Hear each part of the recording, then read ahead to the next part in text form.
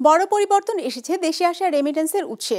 সদ্য শেষ হওয়া অর্থ বছরে রেমিটেন্স পাঠানোর দিক থেকে তৃতীয় অবস্থানে থাকা সংযুক্ত আরব আমিরাত উঠে এসেছে প্রথম স্থানে। আর এতদিন প্রথম স্থানে থাকা সৌদি আরব নেমে এসেছে চতুর্থ অবস্থানে। অর্থনীতিবিদ ও জনশক্তি রপ্তানিকারকরা বলছেন, এর পেছনে ভূমিকা থাকতে পারে অর্থ পাচারের গন্তব্যের রদবদল রায়হান শোভনের রিপোর্টে বিস্তারিত। আড়াইশোটিরও বেশি ডিজাইন অপশন নিয়ে ওয়াল্টন স্মার্ট ফ্রিজ, বোঝে আপনার প্রয়োজন। দেশে বৈদেশিক মুদ্রার বড় যোগান আসে প্রবাসীদের পাঠানো অর্থ বা রেমিটেন্স থেকে। কেন্দ্রীয় ব্যাংকের হালনাগাদ তথ্য অনুযায়ী সবশেষ জুনে এসেছে রেকর্ড পরিমাণ দুশো চুয়ান্ন কোটি ডলারের রেমিটেন্স যা আগের অর্থ বছরের একই সময়ের তুলনায় প্রায় পনেরো শতাংশ বেশি। সব মিলিয়ে সদ্য শেষ হওয়া দু হাজার তেইশ চব্বিশ অর্থ বছরে দেশে রেমিটেন্স এসেছে দু হাজার তিনশো একানব্বই কোটি ডলার, যা আগের অর্থ বছরের তুলনায় সাড়ে দশ শতাংশের বেশি। ক্ষেত্রে কিন্তু কাপ মার্কেটে মানে যে পরিমাণ হাইপ ছিল সেই কারণে কিন্তু মাঝখানে আপনার রেমিটেন্সটা এখানে পায়নি। যখন আপনি দেখেন যে এই ট্রান্সফার রেটটা যখন ইকুয়াল করে দেওয়া হলো কাপ মার্কেটে প্রায় সমন্বয় করে দেওয়া হয়েছে। এখানে দুই আড়াই পার্সেন্ট মাননীয় প্রধানমন্ত্রী প্রণোদনা সেই সাথে আরও আড়াই পার্সেন্ট ব্যাংকগুলো সুবিধা দিচ্ছে। এই কারণে কিন্তু আপনার এখন আমাদের প্রবাসী ভাইরা কিন্তু অনেক উদ্যোগী হয়েছেন। তারা কিন্তু এখন ব্যাংকিং চ্যানেলে পাঠাচ্ছেন বলে আপনি রেমিটেন্সের এই উদ্যোগতি দেখছেন। হিসেব বলছে দু হাজার আঠারো উনিশ অর্থ বছরে দেশে রেমিটেন্স এসেছিল এক হাজার ছশো একচল্লিশ কোটি ডলার।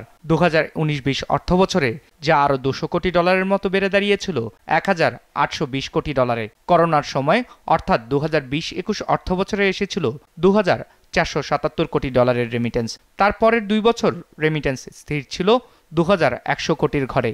তবে দু হাজার তেইশ চব্বিশ অর্থ বছরে তা কিছুটা বেড়েছে। বৈধ পথে আসা রেমিটেন্সের পরিমাণ দাঁড়িয়েছে প্রায় দু হাজার চারশো কোটি ডলারে আমি কশাসলি অপটিমিস্টিক যে আমাদের সামনের মাসেও অন্যান্য বছরের মানে গত বছর বা তার চাইতে ভালো হবে। কিন্তু এটার মূল কারণ হচ্ছে পলিসিগত কিছু পরিবর্তন হয়েছে আমাদের এখানে। আমাদের মন্ট্রি পলিসি টাইট হওয়াতে এক, একটা হচ্ছে দেশের ইন্টারেস্ট রেটটা অনেক অ্যাট্রাকটিভ হয়েছে, টাকাটা অ্যাট্রাকটিভ হয়েছে। ফলে অর্থ পাচারের প্রবণতাটাও কিছুটা কমে যাবে। ওভার ইনভয়েসিং আন্ডার ইনভয়েসিং ইত্যাদির মাধ্যমে যে অর্থ পাচারটা হবে, একটু কমে যাবে। কারণ ডলারের টাকা এখন হিসেব বলছে, গেল অর্থ বছর সবচেয়ে বেশি রেমিটেন্স এসেছে সংযুক্ত আরব আমিরাত থেকে, যার পরিমাণ চারশো চৌষট্টি কোটি ডলার। দু হাজার বাইশ তেইশ অর্থ বছরের চেয়ে যা প্রায় তিপ্পান্ন শতাংশ বেশি।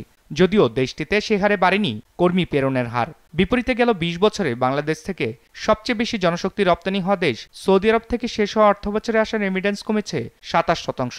ফলে রেমিটেন্স পাঠানোর দেশের তালিকায় সৌদি আরব নেমে এসেছে চতুর্থ অবস্থানে। বিশ্লেষকরা বলছেন রেমিটেন্সের উৎসের এমন পরিবর্তনের পেছনে অর্থ পাচারের ভূমিকা থাকতে পারে।